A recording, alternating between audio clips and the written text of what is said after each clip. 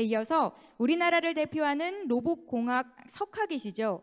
매사추세츠 공과대학 김상배 교수님을 모시고 물리적 지능과 AI에 대한 인지적 편향에 대한 기조연설을 들어보도록 하겠습니다.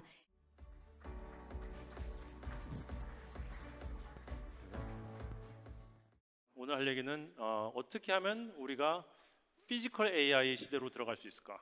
지금 AI 시대고 지금 굉장히 정신없이 세상이 바뀌고 있는데 특히 우리나라한테 굉장히 중요한 주, 어, 제라고 생각을 합니다. 그래서 이 AI는 어, 이런 공대생이나 기술하는 사람들만 알아야 될 것이 아니에요.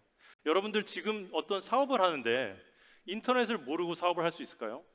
앞으로는 그런 시대가 와요. 그러니까 AI의 전문가가 아니고 AI를 정말 쓸 줄 몰라도 AI가 대강 어떻게 돌아가는지는 전 국민이 다 알아야 된다고 생각을 해요.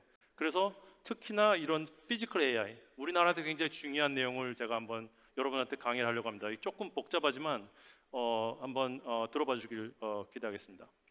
기계 얘기 안 할게요. 이 information 서비스, 그 인터넷이 보편화되고 모바일 device, 특히나 이제 애플 같이 이렇게 아이폰 같은 것이 나오면서 어, information 서비스가 정말 우리의 세상을 너무 많이 바꿨죠. 한 가지 저희가 이제 제가 이제 강조해야 될 것은 이 information은 텍스트, 이미지, 사운드로만 전달이 된다는 거예요.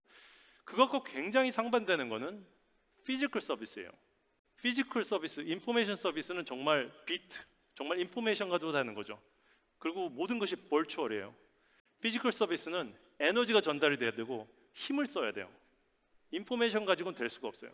자, 오늘의 아, outline은요. 첫 번째, 아, 제가 로봇이 어떻게 하면 공장에서 나와서 공장에 있는 아, 일만 하는 것이 아니라 이제 우리 생활에서 도움을 줄 수 있을까에 대한 내용을 어, 앞부분만 하드웨어에 대한 부분만 제가 말씀드릴 거고요. 그것은 제가 여태까지 했던 리서치에 대한 어떻게 보면 요약이기도 하고요. 자, 로봇을 어떻게 바깥으로 나오게 할 것인가? 이것이 어떻게 보면은 제가 처음에 한 10년 정도 MIT에서 이제 어, 교수를 하면서 10년 정도의 제 어떻게 미션이었어요. 어떻게 하면 이런 공장에서만 쓰일 수 있는 로봇들을 공장 밖으로 끌어낼 수 있을까? 이게 자세히 보시면은 어, 이 구성 요소들이 너무 너무나 달라요. 그래서 디자인 패러다임이 완전히 바꿔야 된다. 그래서 제가 어, 이제 처음 10년 동안 주목했던 것들이 어떻게 하면 로봇을 이렇게 딱딱하고 이렇게 위치만 정밀도로 정확하게 전달하는 로봇이 아니고 정말 세상과 이렇게 상호작용하면서 움직이는 로봇이었을까? 그래서 자연을 굉장히 많이 봐왔어요.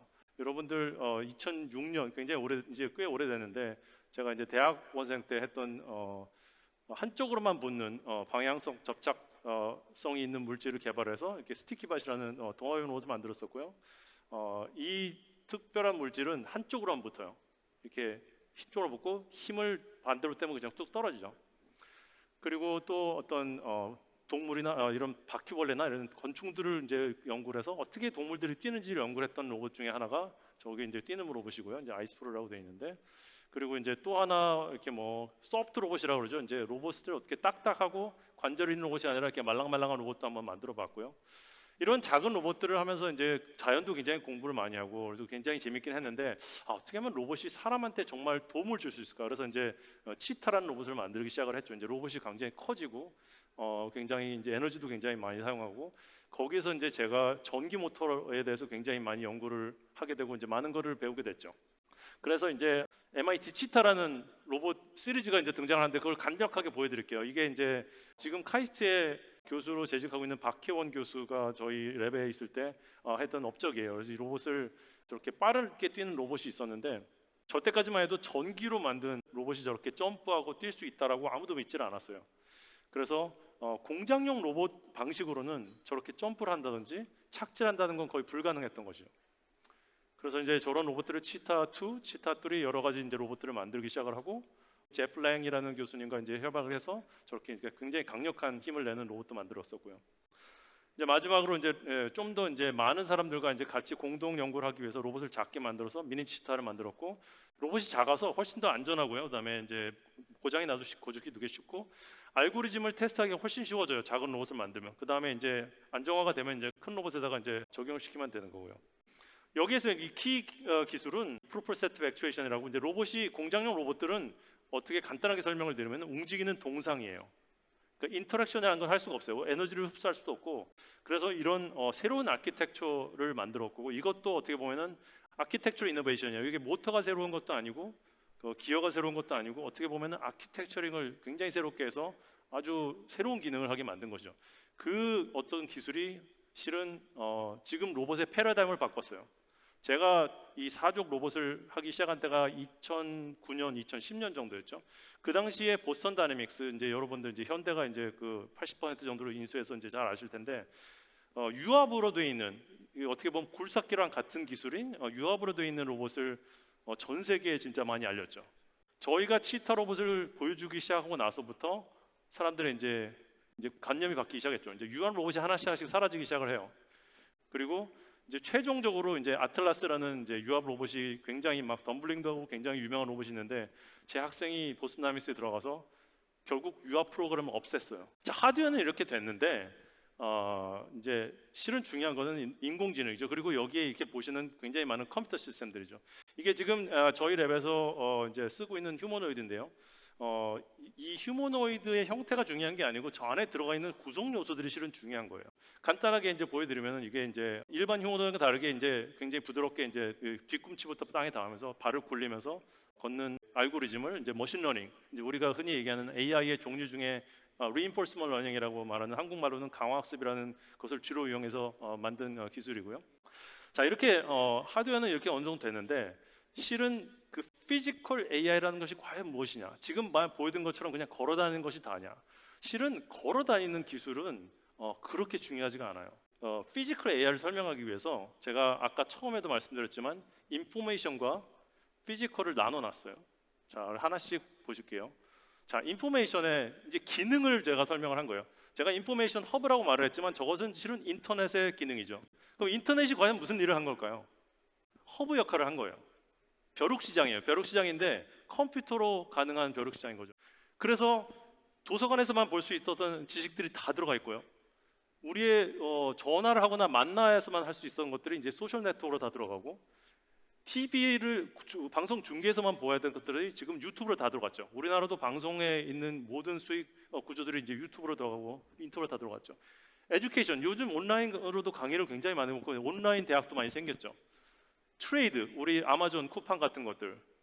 자 이렇게 우리의 삶의 모든 행동들이 인터넷으로 다 들어가면은 뭐가 생기죠?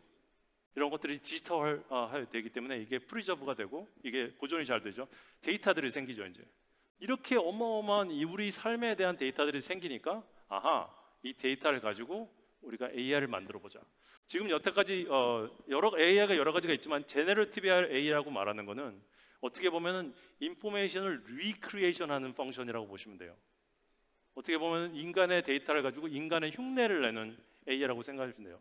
텍스트면 텍스트, 텍스트를 모든 것을 습득해서 사람처럼 이 다음에 뭐가 나올지를 예측하는 language model이 나오, 는 거죠. 근데 어마어마한 데이터가 들어있기 때문에 정말 사람보다도 더 잘하는 그런 어, 텍스트가 나오는 거예요. 이미지랑 텍스트를 사람들이 이렇게 연결 다 했죠.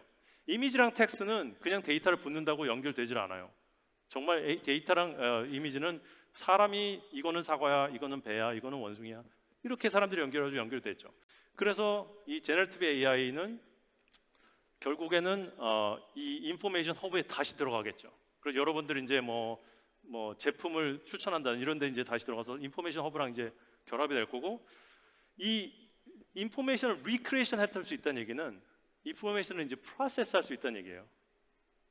그래서 지금 굉장히 많은 와이칼라 잡들이 지금 어, 없어지게 생겼죠. 완전히 아까 말씀하셨듯이 사람이 없이는 되진 않지만 사람 숫자가 줄 거예요.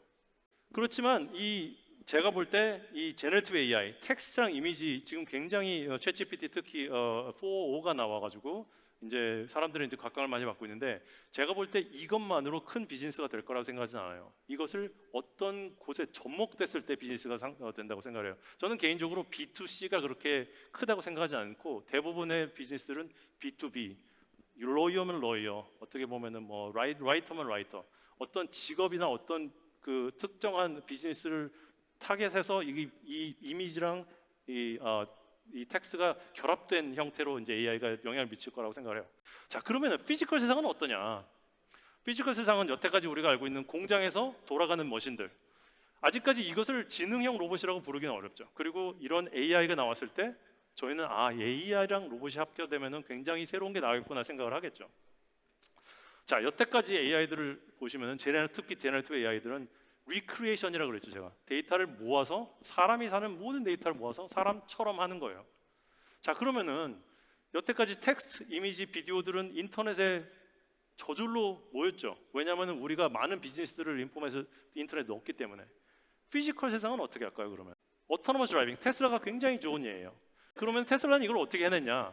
실은 테슬라도 그렇고 다른 자율주행 자동차들은 로봇 어, 회사들은 모든 거를 rule base로 했어요. 이 운전하는 것을 이해시키기 위해서 사람들이 이런 방식으로 해라 저런 방식으로 해라 이제 rule base로 했었는데 최근에 여러분들 기사를 보실지 모르지만 테슬라도 사람의 운전하는 데이터를 다 모아서 왜냐하면 테슬라는 데이터가 엄청나게 많거든요. 왜냐하면은 테슬라를 사시면은 테슬라 지금 너, 네가 운전하는 데이터를 테슬라한테 공급하는 것에 동의합니까? 동의하면 동의 안 하는 사람도 많지만 동의하는 사람도 굉장히 많아요. 그래서 사람이 운전하는 걸 가지고 그대로 베끼는 똑같이 이미지랑 텍스트랑 하는 방식을 통해서 운전하는 방식을 바꿨어요. 그게 지금 한 6개월도 되지 않았어요. 그랬는데 어, 지금 운전하는 게 정말 사람처럼 부드러워지고 정말 많은 어, 이 상황을 대처할 수 있게 됐죠. 그렇지만 우리가 관심 있는 거는 노동력 대체죠. 우리 공장에서 사람처럼 일하는 로봇, 집에서 어른을 돌보는 로봇, 또는 뭐 어, 어떤 상업 어, 관계에서 어떤 뭐 음식점에서 일하는 로봇 이런 거를 사람처럼 베끼는 로봇을 AR 만들고 싶은데 이런 데이터를 어떻게 얻을 거냐는 거죠. 제가 이런 거를 이렇게 만지고 짚는 거를 데이터를 어떻게 모을까요? 손가락이 느끼는 힘, 제가 움직이는 거, 실제로 미국에 굉장히 펀드를 많이 받은 교- 그 회사들이 이거를 데이터를 실제로 컬렉션하고 있어요. 로봇을 원격 조정해서 컬렉 데이터 컬렉션 하기도 하고 굉장히 많은 방식으로 컬렉션 하는데 저를 포함해서 어떻게 보면 총괄 받는다는 교수님들은 약간 회의적이라고 생각을 해요. 그것보다는 좀 더 다른 것이 있어야 된다. 왜냐하면 데이터가 physical 세상에서는 훨씬 더 복잡하고 어, 정말 많은 것들이 그냥 여태까지 봤던 텍스트 이미지랑은 좀 다르다는 거예요. 자, language는 어, 정말 어떻게 보면 굉장히 좋은, 굉장히 다루기 쉬운 데이터예요. 우선 딱- 딱딱딱 나눠져 있고 어, 전, 전- 모든 단어를 전 세계를 모아도 영어 같은 경우는 3만 단어밖에 되지 않아요. 우리가 쓰는데 쓰는 단어는 만 단어도 되지 않아요. 이미지는 훨씬 많고 훨씬 복잡하죠. 그렇지만 이제 labeling이라는 걸 통해서 이 두 개를 연결시켜서 이제 기능들이 새로 나오고 있는데 그것으로 바로 액션으로 정해 연결될 수 있을 것인가? 이 얘기를 다 할 수는 없지만 우선 virtual 아까 information 서비스에 관련된 에너지랑 힘이 필요 없는 데이터랑 physical이랑의 차이를 제가 한번 구별시켜 드릴게요. 우선 virtual은 인, information이 다 인터넷에 다 있어요. information access만 되면 대- 그냥 쉽게 구할 수가 있는데 physical 쪽은 우리가 실제로 실험을 해야 돼요. 그렇게 하지 않고 모을 수가 없어요. 또는 시뮬레이션을 해야 되는데 시뮬레이션이 아직도 이제 한계가 좀 있죠. 액션, 이미지나 텍스트나 어, 오디오는 이것을 이 produce 하는데 타이밍에 대한 별로 센스티브가 없어요. 예를 들면 I have lunch 그래도 상관없고 I have lunch 그래도 별 의미가 없어요. 상관이 없어요. physical 세상에서는 타이밍이 조금만 안 맞으면은 어, 컵, 유리컵이 바닥에 깨져 있겠죠. 음, 음식물이 쏟아져 있을 거예요 아마. 타이밍이 굉장히 중요하고 제일 중요한 거는 액션 하는 데 있어서 uncertainty가 너무 너무나 달라요. 컴퓨터가 I have lunch라는 단어를 어, 문장을 만들어내는데 have라는 단어가 나올 때도 있고 안 나올 때도 있고 이런 의미는 이런 건 상상하기 힘들잖아요. virtual 세상에서는 execution 그, 그이 액션에 대한 불확실성이 없어요. 물론 컴퓨터가 뭐 배터리가 나가서 아예 뭐저 동작을 안 하는 이런 상황 벌어지가 있지만 physical 세상에서는 아무리 알고리즘을 잘 짜놔도 항상 불확실성이 있어요. 그래서 이렇게 다이나믹하고 불확실성이 많은 세상은 단지 이미테이션, 이 사람의 데이터를 이미테이션 가지고는 안 된다라는 것이 이제 많은 사람들이 이제 동의하는 바고요. 이것도 굉장히 할 얘기가 많은 슬라이드이긴 한데 여러분들 보시면은 왼쪽에 있는 것들은 이미 컴퓨터가 사람을 능가한 지 오래됐어요. 우리가 지능이 높다라고 생각했던 것들은 컴퓨터가 이미 다 이겼어요. 우리가 생 그리고 그런 행동들은 다 우리가 의식적으로 대뇌를 써서 해야 되는 행동들이에요. 그리고 인류가 동물로서 이것을 해온 지 만 년도 되지 않았어요. 천년 어떤 것들은 천 년도 되지 않았어요. 그것에 비해서 우리가 몇 밀리언 이어 동안 이 100만 년도 넘는 몇, 시- 몇 천만 년 동안 어, 갈고 닦은 우리의 몸을 동작하고 만지고 짚고 하는 이런 지능들은 대부분 무의식적이에요. 우리가 알질 못해요. 이런 이, 이 이런 기능에 대한 이런 지능에 대한 실존 자체에 대해서 우리가 알 수가 없어요. 왜냐하면 무의식이기 때문에. 이쪽에 있는 것들은 컴퓨터가 지금 사람의 발끝도 쫓아오지 못해요. 이것이 우리가 생각하는 인지적 편향이에요. 우리가 AI를 볼 때 이것을 정말 잘 생각하셔. 특히 이 결정권자들, 저 높은 지위에 있는 분들이 AI를 기술을 볼 때 우리가 오해할 수 있는 거. 우리는 AI 기술을 인간의 기준으로 판단해요. 인간의 기준으로. 우와, 체스를 이겼어. 바둑을 이겼어. 이제 AI가 끝났구나. 제 주머니에 있는 물건 하나 못 꺼내요. 지금 AI는. 접시 하나 제대로 못 닦아요. 제가 접시 닦는 비디오 보여드릴게요. 제가 보여드릴 동영상은 어, 스탠포드의 슈란 송이라는 교수가 이제 한 일인데요. 제가 봤던 동영상 중에 제일 뛰어나고 제일 impressive한 동영상이에요. 자, 우선 보여드릴게요. 사람이 저렇게 왼쪽에 보면은 저걸 가- 잡 짚고 트레이닝 하는데 데이터를 모아서 저렇게 케찹을 뿌리면은 저렇게 닦아요. 사람처럼 닦졌고 왜냐하면 사람 데이터로 트레이닝했기 때문에. 근데 케찹을 또 뿌리면은 그걸 알고 또, 또 다시 닦아요. 그리고 물도 끄죠. 근데 물을 다시 사람이 와서 다시 키면은 그걸 알고도 꺼요. 이거를 아무 지식이 없이 보면은 야, 이 로봇은 이제 접시가 더러졌다는 컨셉도 알고 물을 꺼야 된다는 컨셉도 아는구나라고 착각하실 수 있죠.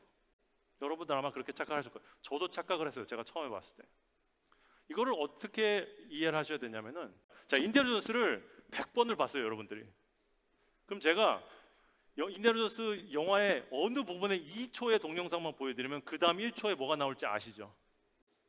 지금 이 로봇, 이 AI는 딱 그종 그런 트레이닝을 한 거예요. 케찹을 다시 뿌리면 그 케찹이 처음에 뿌려졌던 상황의 비디오가 가기 때문에 그 2초 동안의 비디오를 보고 아 케찹이 뿌려지고 나서는 내가 닦았지. 그래서 계속 돌아가는 거예요. 그렇다는 얘기는 접시를 만약에 잘못해서 미끄러서 접시가 떨어졌어요. 그것에 대한 데이터가 없으면 거기서는 완전 멘붕이에요. 이 AI는 아무것도 하지 못해요. 이 AI는 딱 그런 AI인 거예요.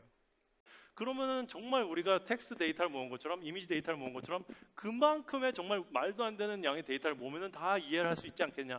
가능한 얘기예요. 가능한 얘기지만 여러분들 정말 모든 설거지를 다 열 번을 해도 이 상황이 너무 너무나 다르죠. 그리고 실수의 recovery가 있고 우리가 뭐 이렇게 미끄러지면 다시 잡을 때도 있고 뭐 접시를 떨어뜨리면 깨지면 다시 접 상황 모든 상황을 한번 상상해 보세요. 부엌에서만 해도 그 데이터를 모은다라는 거를 자체가 정말 굉장히 어렵다는 걸 아마 쉬- 쉬우실 거예요. 자, 한 가지 이거 예를 들으면은 명동 거리에 가서 100만 명의 데, 걷는 사람이 100만 시간 동안 걷는 데이터를 다 모으면은 걷는 로봇을 만들 수 있을까요, 여러분들? 어마어마한 데이터잖아요. 자, 이제 만약에 이 걷는 데이터를 가지고 걷는 로봇을 만들었어요. 제가 이런 질문 해볼게요. 이 로봇을 제가 이렇게 옆으로 확 밀면 어떻게 될까요? 이 100만 사람들이 100만 시간 동안에 과연 옆으로 밀리는 사람이 몇이나 됐을까요? 데이터가 별로 없어요. 왜냐면은 우리는 균형이라는 컨셉이 있죠. 어, 이렇게 하면 위험하니까 내가 그렇지만 이 100만 사람을 100만 시간 동안 촬영했을 때 그런 데이터는 거의 없어요.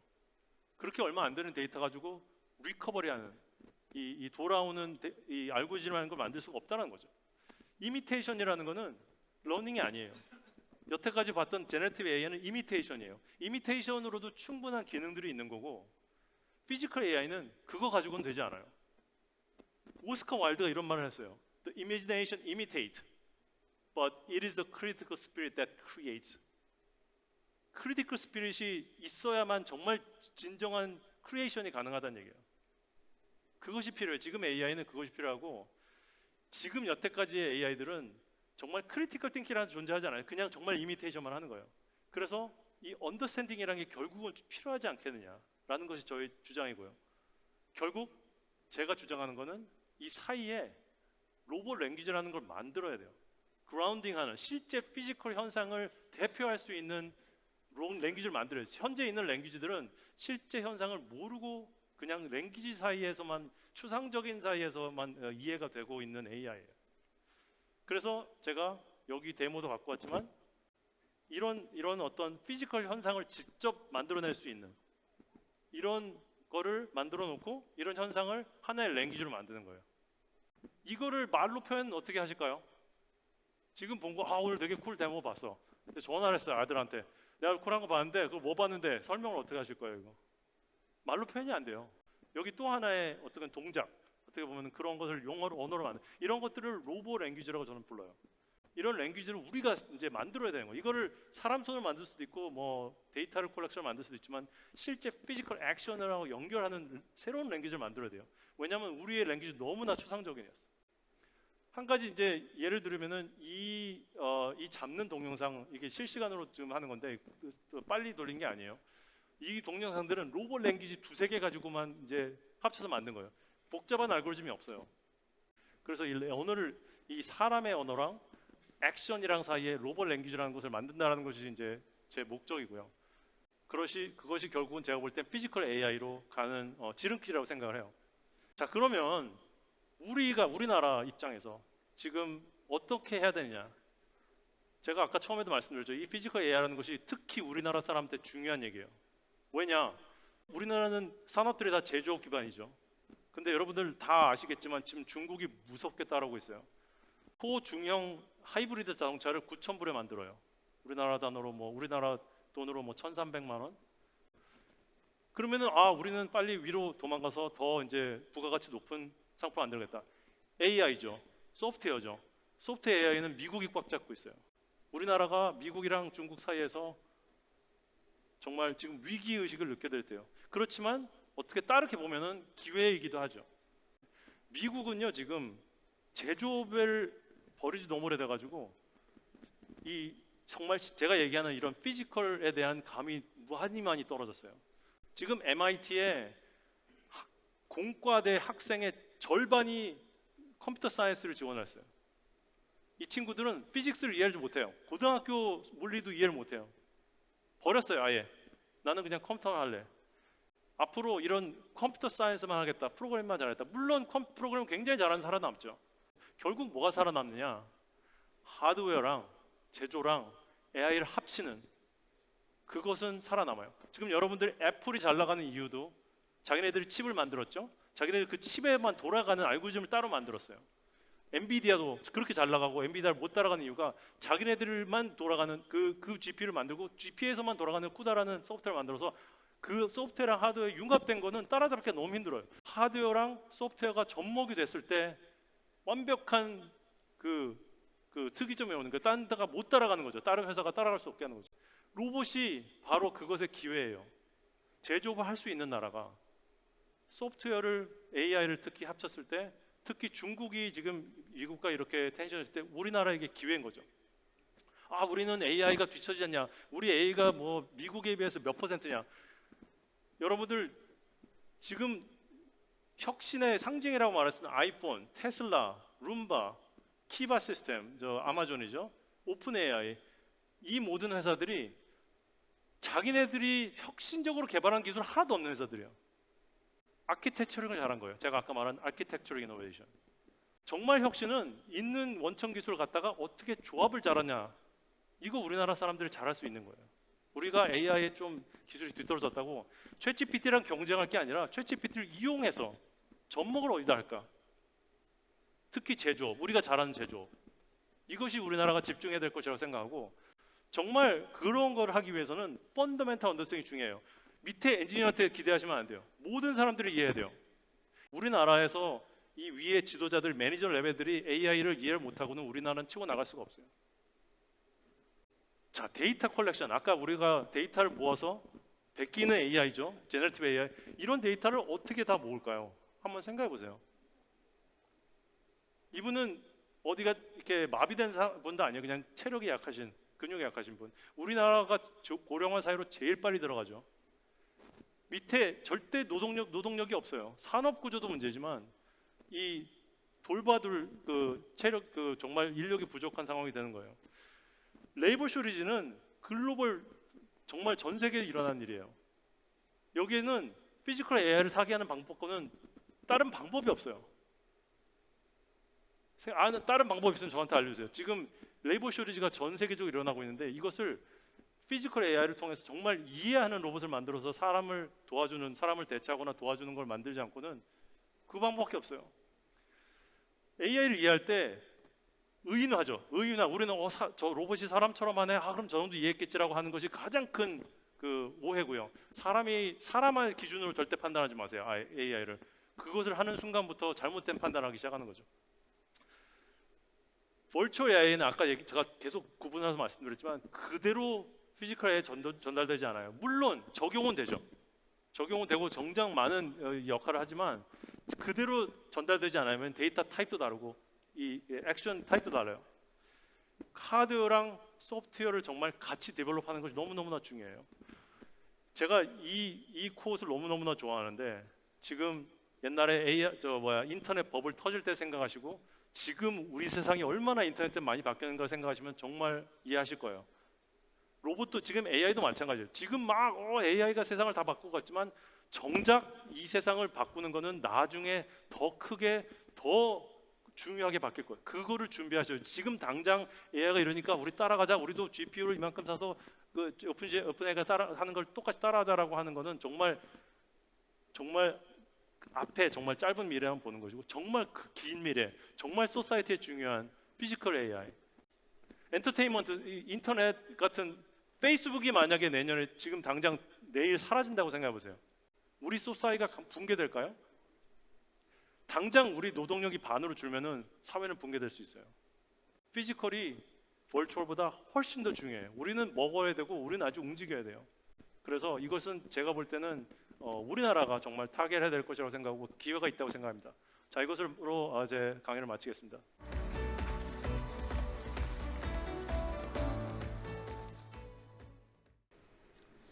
제가 오늘 여러분들하고 공유하고 싶은 얘기는 지난 70년 동안 해방 이후 대한민국은 엄청난 속도로 발전해서 오늘에 왔습니다. 거기에 대한민국의 성장 스토리를 짧게 여러분들하고 공유하고 급변하는 세계하고 그 속에서 대한민국이 어떤 현실적인 문제를 갖고 있는지 또 지속적으로 대한민국이 성장하기 위해서는 어떤 것을 얘기하면 좋을지 더 좋은 제안들이 많은 사람들이 생각하겠지만 제가 본 관점에서 말씀을 드리도록 하겠습니다. 우리 다 아는 얘기입니다. 해방 이후에 최빈국인 우리나라는 원조를 받았습니다. 그런데 수출 중심으로 열심히 노력한 결과 2009년부터는 오히려 원조를 해주는 나라가 됐습니다. 제 기억이 맞다 그러면 작년에는 4.8조 원 정도를 원조를 했고 올해는 거의 GDP의 아닙니다. 예산의 1% 정도인 6.3조 정도를 어, 원조한다고 합니다. 그러면 이렇게 짧은 시간에 성공한 성장 요인이 뭐냐? 보는 사람들에 따라 틀릴 수 있겠지만 저는 네 가지라고 봅니다. 첫 번째가 한국인 특유의 근면하고 성실함. 높은 교육률, 지금도 80% 이상이 대학을 진학하고 있습니다. 이를 바탕으로 한 우수한 지식 수준, 지능. 또 하나는 빈약한 자원을 극복하고 빈곤을 탈피해 보겠다는 강한 집념, 의지. 여기에 정부 주도의 산업 정책 및 기업에서 끝까지 해내는 실행력 이 바탕으로 지난 70년 동안에 저기 보시는 것처럼 420배나 GDP가 증가했습니다. 이렇게 수출 중심으로 산업을 펼쳐서 결과적으로 세계 15위권 내에 있는 경제 규모의 나라가 됐는데 아시는 것처럼 세상이 빠르게 바뀌고 있습니다. 왼쪽 그래프는 월드뱅크에서 발표한 건데 지난 160년 동안 세계는 세계화 1.0으로 표시되는 그 단계를 지나서 분절화 1.0 그거는 1차, 2차 세계대전 냉전 기간입니다. 그리고 우리가 주로 성장을 해온 세계화 2.0은 중국 개방으로 고용량이 급속히 느는 그 단계였습니다. 지금 다시 분자라 단계로 들어간다고 얘기를 합니다. 생각해 보세요. 저 분자라의 수준이 옛날 냉전이라든지 1, 2차 세계대전 된다 그러면 아마 우리나라는 상당히 다른 전략을 구사하지 않는 한 지속적인 성장은 어려울 수도 있습니다. 제가 보기에는 다행히 첫 번째 분절화 정도는 되지는 않겠지만 여전히 수출 중심인 우리나라한테는 큰 부담이 되는 것은 틀림없습니다. 분절화가 되게 되면 어떻게 되느냐? 간단합니다. 총 생산의 세대 요소인 노동, 자본, 기술 그 중에 값싼 노동력을 찾아가는 것은 굉장히 어려워지고 자본의 이동도 어려워집니다. 결국 모든 나라들이 특히 한국 같은 경우에는 수출을 한다 그러면 저 기술에 대한 부분들이 엄청나게 중요해집니다. 우리나라는 반도체도 있지만 자동차도 있고 조선도 있고 제품을 만드는 전 산업이 있습니다. 여기에 각각이 필요한 기술들이 있을 텐데 제가 보기에는 공통으로 핵심으로 들어갈 수 있는 것, 기술은 AI 중심으로 이루어질 겁니다. 이미 AI는 글로벌 GDP의 상당 부분 기여를 하고 있습니다. IMF라든지 맥킨지의 결과를 보면 작년 전 세계 GDP는 105조 달러라고 합니다. 이 중에 AI가 제너레이션한 가치는 약 25%인 26조 달러쯤 됩니다. 기존의 AI가 3분의 1 정도를 기여를 했고 2022년에 나온 생성형 AI가 벌써 3분의 1 정도를 차지하고 있다고 합니다. 이거는 사실은 빅테크들이 데이터 센터 중심으로 해서 기여한 부분들인데 최근의 트렌드는 드디어 우리하고 친숙한 PC라든지 모바일 폰에 작은 규모이긴 하지만 AI가 탑재되기 시작했습니다. 우리도 눈여겨보고 있지만 이 분야에 아주 촉각을 세우고 있는 미국의 빅테크는 이 AI 서비스뿐만 아니고 AI를 돌리기 위한 핵심되는 반도체까지도 하겠다고 마음을 정했습니다. 그래서 여러분이 아시는 마이크로소프트나 메타나 구글 이런 데들이 엔비디아에서 GPU는 사기는 하지만 자기 나름대로의 독자 칩을 준비하고 있고 실제로 쓰고 있습니다. 늦었긴 했지만 삼성이라든지 한국의 SK 같은 경우도 이 분야에 참여하기 위해서 열심히 준비 중이고 노력을 시작했습니다. 여기 아마 저보다도 AI 전문가들이 훨씬 많은데 대부분의 사람들이 이해하기 쉽게 표시한다 그러면 1946년에 ENIAC이라는 진공관으로 만든 트랜지스터가 아, 컴퓨터가 나왔습니다. 그때 사람들이 벌써 아티피셜 인텔리전스를 생각을 했어요. 머신이 생각할 수 있을까?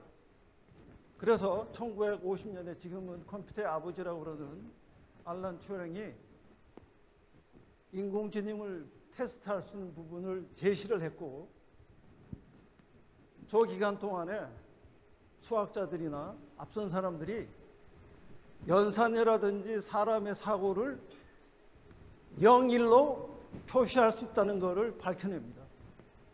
그게 스위치를 만들어서 결과적으로 인공지능을 할 수 있겠구나. 그래서 한 10년 이상 가다가 1980년대가 되면 이제 expert system이라고 그래서 전문가들의 난리지나 경험 이런 부분들을 다 수치화해서 AI로 활용을 해보자. 근데 역시 데이터 부족하고 응용처의 한계로 다시 한번 암흑기를 맞이합니다.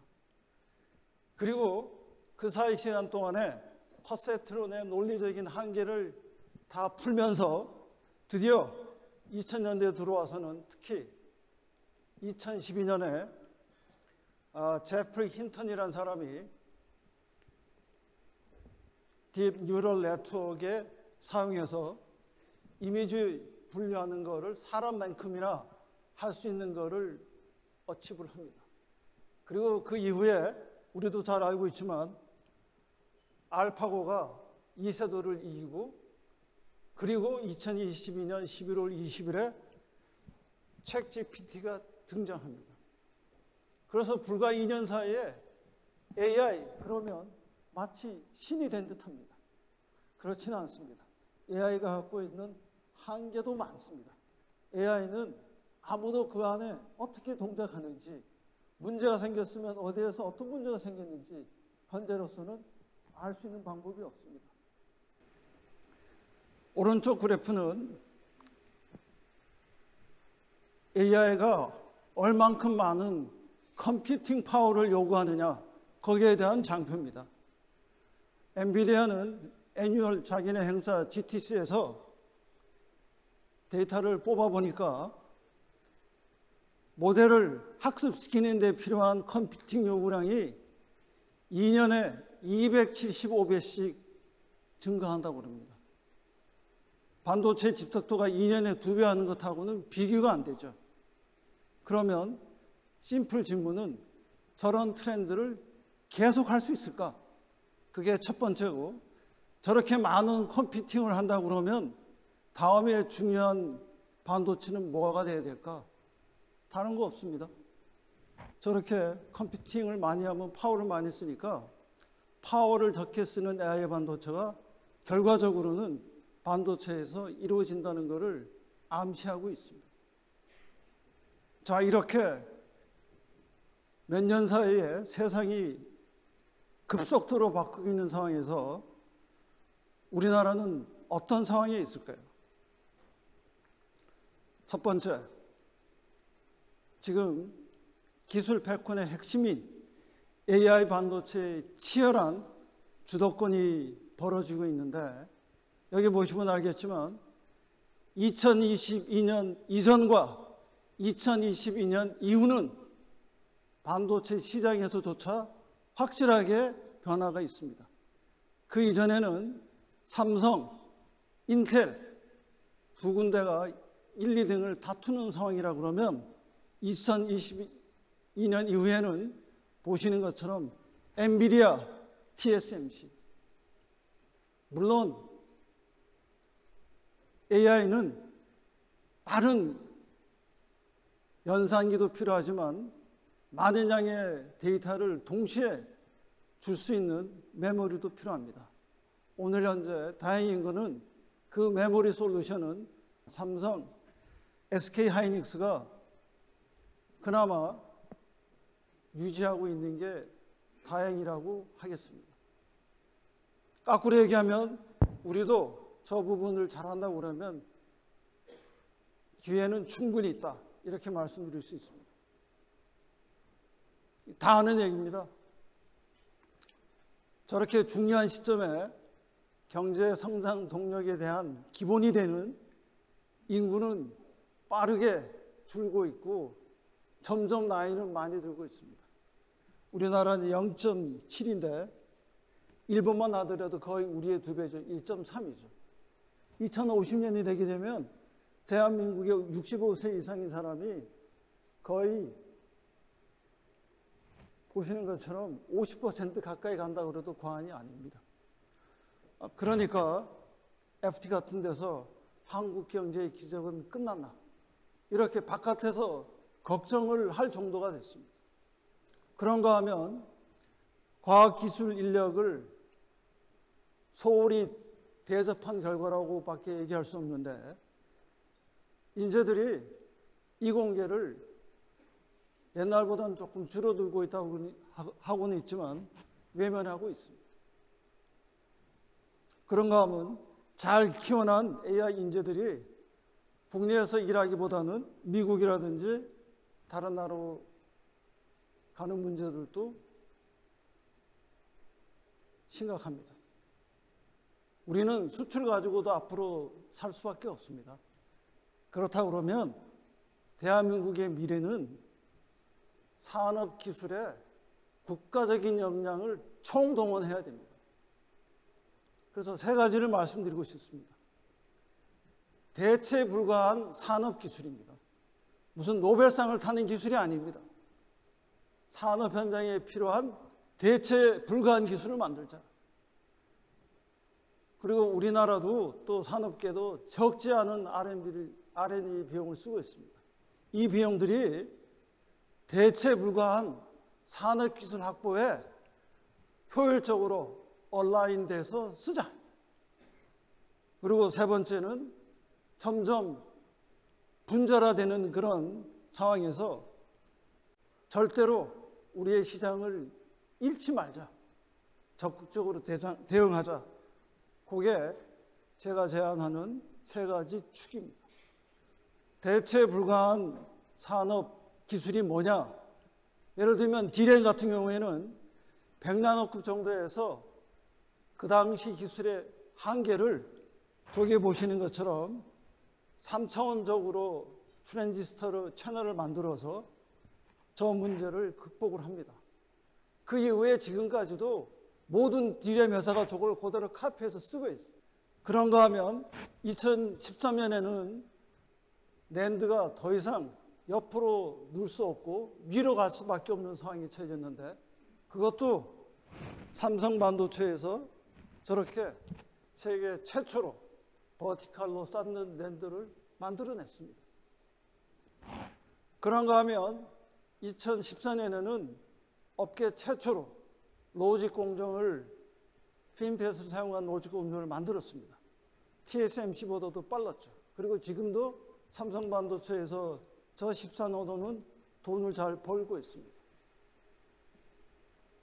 그런가 하면 FinFET의 한계를 생각을 해서 삼성 반도체에서 여기 이름은 gate all around인데 multi bridge channel이라서 MBCFET이라는 걸 만들어서 지금 양산을 시작을 했습니다.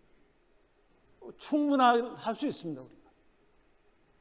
아까 그 vertical NAND 같은 경우에는 기술적인 얘기라 자세히 말씀드리지 않겠지만 거의 한 15년 정도를 준비를 했었습니다. 2000년 초부터 해서. 그래서 2006년에는 실제로 저기 바탕이 되는 걸 만들어 봤어요. 근데 실패했습니다. 근데 거기서 주저앉지 않고 저 실패한 부분들을 vertically 쌓는 걸로 성공을 시킵니다. 그래서 저게 standard가 됐고 지금도 쓰고 있죠. 그런가 하면 저는 이 분야는 잘 모르지만 조선 같은 경우에도 우리가 압도적인 기술력으로 선점한 경우가 있습니다. 60년대까지는 리벳이라고 해서 철판 양, 양두 개를 못으로 어떻게 보면 끼워서 쓰는 방법인데 그 이후에는 일본이 용접 공급 그리고 대한민국에서 큰 배를 왜 바다 옆에서 만드냐 육상에서 건조해서 옮겨가자 이런 발상의 전환으로 한국이 1등을 합니다. 그래서 아마 자동차든 조선이든 철강이든 각 분야에 필요한 핵심 기술들은 산업 현장에서 대체 불가한 기술이 뭔지 잘 알 겁니다. 그거는 거기서 하시고 거기에 AI를 전폭적으로 집어넣어서 productivity를 높인다 그러면 다시 한번 대한민국은 성장할 수 있는 기회가 있을 거라고 저는 확신합니다. 이거는 저기 2024년 1월에 어, 이코노미스트지에서도 나왔는데 보시는 것처럼 대한민국이 GDP 대비 R&D를 가장 많이 쓴 나라 중에 하나예요.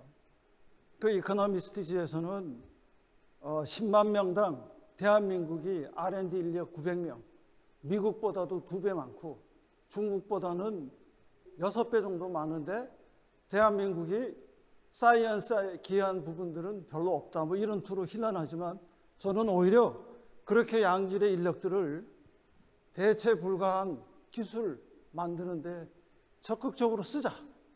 어떻게 쓸 거냐? 방법은 여러 가지 있겠지만 지금까지 스터디해 보면 기초 연구, 응용 단계를 거쳐서 실제로 양산에까지는 상당한 시간이 걸리고 특히 프로토타이핑이나 파이럿 이런 단계에서 대부분의 경우에 실패를 하고 연속성이 사라진다 합니다. 그래서 저는 우리는 기초형 갈 사람들은 하지만 응용 단계의 연구를 산업체가 필요한 핵심 요소 기술로 정해서 개발을 하고 산업계하고 정보학계가 합심을 해서 온라인 돼서 저 데스벨이란 저 기간을 줄이고 빨리 사업하는 정책으로 간다 그러면 충분히 우리는 승산이 있다. 그 다음에 저렇게 하려고 그러면 어, 과학 이- 기술 인력들이 충분히 있어야 되겠죠. 아까도 보셨지만 2050년이 되게 되면 거의 10명 중에 4사람은 65세 이상입니다. 제 생각에는 진짜 우리가 다른 건 몰라도 정년 연장에 대한 진지한 검토. 저는 오히려 아예 정년을 폐지하자. 그게 기업이든 학교가 되든 그래서 일하겠다는 사람들, 이런 사람들은 언제든지 일할 수 있는 그런 분위기를 우리가 만들어 보자. 이렇게 제안을 드리고 싶고, 그 다음에 쉽지는 않겠지만 우수한 해외 인력들이 와- 와서 일할 수 있도록 저런 부분들도 동시에 추진하자. 아까 보신 것처럼 분절화되고 있는데 그 분절화에 대해서 우리도 나름대로는 대응을 했어요. 대한상공회의소에서 국내 제조 기업들 대상으로 해보니까 2020년대에 있었지만 대응 중이라고 한다는 25% 밖에 안 돼요. 대응을 고려하는 데는 만 35%. 전혀 대응을 하고 있지 않는 데는 40%예요. 지금은 좀 바뀌었는지 모르겠습니다. 아직 제가 아직 데이터는 못 봤지만 그리고 어떻게 할 거냐? 뭐 조달, 판매처, 기술 경쟁력 저거를 여러 개 있지만 핵심으로 따지면 기술하고 관련된 부분들이 60% 이상이에요. 그러니까 우리가 기술만 있다 그러면 대체 불가한 기술이 있다 그러면 시장이 분절화되고 그런 것도 극복할 수 있다. 그런 걸 암시합니다. 그러더라도 우리가 저렇게 대체 불가한 기술, 우수한 과학 기술 인력들이 저거를 해내고 또 정부도 온라인된 형태로 제도적으로 뒷받침하면 저런 기술을 가지고 대외 기술적인 파트너십을 공고해서 우리 시장은 철저하게 지켜내자. 그렇게 해보자. 이렇게 제안 드립니다.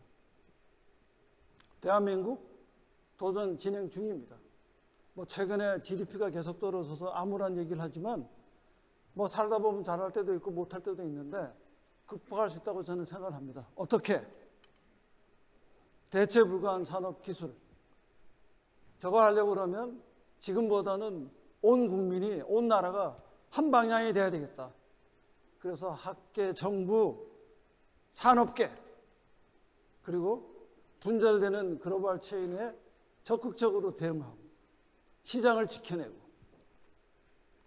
그러면 다시 한번 대한민국은 지속 성장할 거라고 저는 확신합니다. 그런 면에서 더- 어, 공학 한림원도 앞으로 이런 분야 쪽으로 열심히 방향을 잡고 기여할 생각입니다. 아침에 어, 3만 원 강의 잘 들어주셔서 감사합니다.